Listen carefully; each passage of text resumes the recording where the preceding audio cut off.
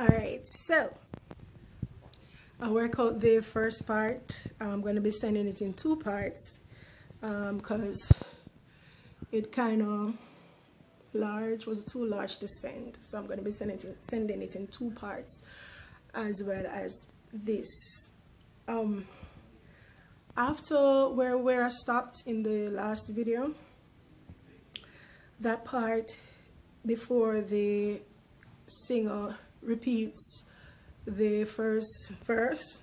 If my people call the second time she repeat that? Yeah before that part.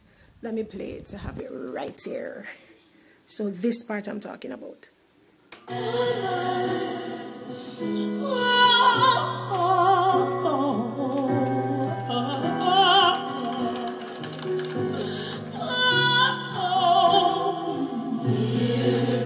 right that part that crying out part hey, singer. right that part you have to or I want you guys to personalize it, right? Because that part for me was just spontaneous. was just spontaneous. Uh, just make sure that you end in time to face the left again to repeat if my people will call by my name will humble themselves that part and also there's another part where she goes when I reach for the material, I want you guys to make it your own. Use your, your color flags.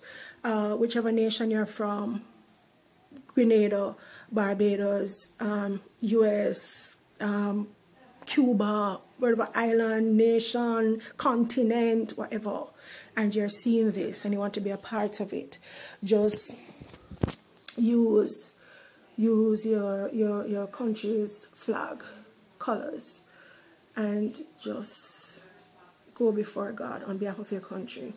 All right. Um. So, but that's the part where I re I, I did reach for um the scarf, and I danced up to that point and whatever. So all of that, all of that is on you. All of that.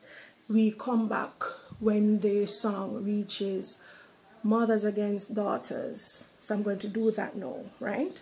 I'm going to work out that routine and send it. So that's where we'll pick up back the choreography.